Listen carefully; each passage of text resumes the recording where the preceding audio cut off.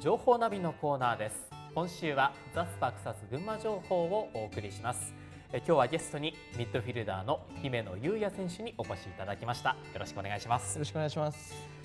え姫野選手は今シーズンから大分トリニータから加入されました。まあ、ここまでは J2 の昇格争いが佳境を迎えていますけれども、まあ、今シーズン振り返ってみて簡単にいかがでしょうか？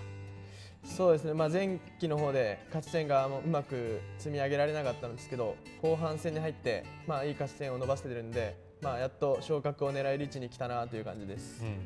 そしてね姫野選手は先月12日アウェーでの秋田戦で J リーグ初ゴールを決められたんですよね。おめでとうございます。改めて。改めてその初ゴールの感想を伺ってよろしいですか？いややっとゴールが取れたなっていう気持ちと、やっぱ率直に嬉しかったです、コントロールでうまくゴール右隅に決まったゴールでしたけれどもあの時の感触っていうのは覚えてますか？まあ、もうボールをもらった時に、まあ、シュートを一番に考えてたんで、うん、まあ、それを迷わず振り切れたっていうところが、まあ、ゴールにつながったんじゃないかなと思います、うん、やっぱり初ゴールというの味は格別ですか？そうですね。やっぱ自分もなかなかゴール取ったことなかったんでやっぱすごい嬉しかったですね、うん、こうして J リーグ初ゴールも決められて、まあ、このチームで頑張っている、まあ、姫野選手ですけれども、まあ、大分から加入したということでしばらく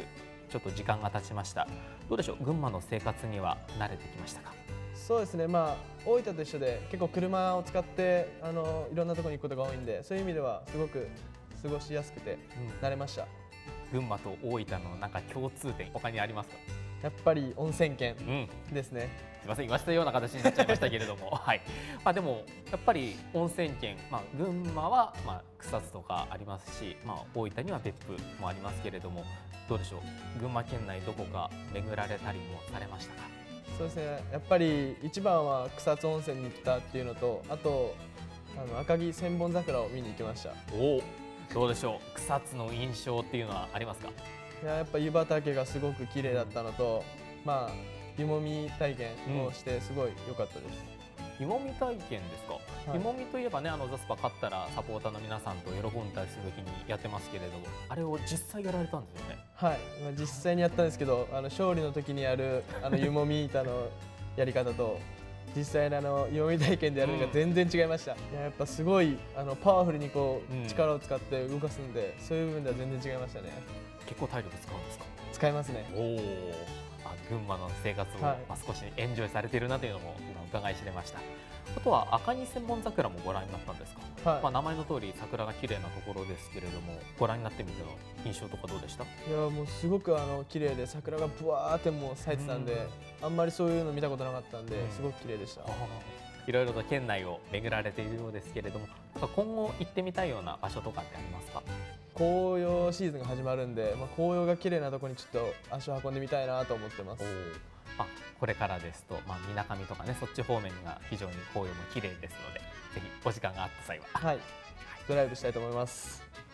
そしてあの今シーズンのザスパといえば、まあ、フォワードの高澤選手であったり、まあ、先週ゲストで出演していただいたゴールキーパーの吉田俊選手であったりと、まあ、非常に同年代の、ね、若い選手が活躍されていますけれどもあの姫野選手にとって彼らの存在というのはどんな存在になりますか？やっぱり年も同い年で、うん、あのまあ、高澤優也に関してはすごい得点を取ってますしそういう部分ではサッカーではすごいライバルでもあり、えー、と自分もすごいそういう部分であの負けられないっていう気持ちになってますし、まあ、普段は逆に同期として仲良くしてます、うん、なんか出かけられたりとか遊ばれたりとかされるんですか？そうですねよくあの同期多くであのご飯に行くことが多いです、うん、美味しいところとか見つかりましたか？そうですね、まあ、僕魚とかも食べるんですけど、うん、あの宮田屋っていうお店があってそこはすごく美味しいです、なんかおすすめのメニューとか気に入ったメニューとかありました？いやもう基本何でも焼き魚でも美味しいですし、えー、と煮付けとかでも美味しいですね、うん、今のチームの中で、まあ、結構仲良くされてる選手とかっていらっしゃるんですか、まあ、基本的に同期はすごい仲がいいんですけど、まあ、その中でも、まあ、あの今季途中から入ってきたあの酒井大輔選手は、まあ、大分のユースの時から一緒なんで、はい、そういう意味ではすごく仲良くしてます。彼が、まあ、途中からシーズン加わるって聞いた時はどう思いました？やっぱりあのユースの頃から一緒にやってた仲間がまた一緒に戦えるっていう部分ではすごく嬉しかったです。なんか酒井選手からはやっぱり群馬の印象とか聞かれたと思うんですけど。いやもう群馬どう？って聞かれた時は、まあ、やっぱ群馬、まあ、大分に似てて 生活しやすいよっていうふうには伝えました。うん。では試合の話にも戻りたいと思います。えこの番組が放送されるのがえ11月の2日ということになりましてね。その2日後え11月の4日にザスパはホームで J2 昇格争いのライバルとなるロアッソ熊本と対戦します、まあ、非常にまあ、昇格争いする上で、まあ、絶対に負けられない相手となりますけれども大事な終盤戦戦うにはどんなことが大事になってくると思いますか？そうですねやっぱりあの熊本には前期えー負けてるんでやっぱ後期を負けるっていうのは絶対にやってはいけないことだと思いますし、うん。まあ、昇格するためにも絶対に勝たないといけない試合だというふうには思ってます。ではその改めてその試合情報ですがキックオフは11月4日月曜祝日の午後6時となります。えーこの試合は藤岡市民デーそして渋川市民デーということでそれぞれの市にお住まいの方は事前申し込み制で無料招待となっています。期限ですが明日11月3日日曜日の夜11時59分までが申し込み期限となっています。お忘れのないようお願いいたします。では姫野選手最後にこの試合に向けての意気込みをお願いします J2 昇格するためにえー絶対に負けてはいけない試合だと思ってますしそのためにも、サポーターの応援が僕たちの力になるので、えーしっかり昇格に向けて勝てるように頑張りたいと思います。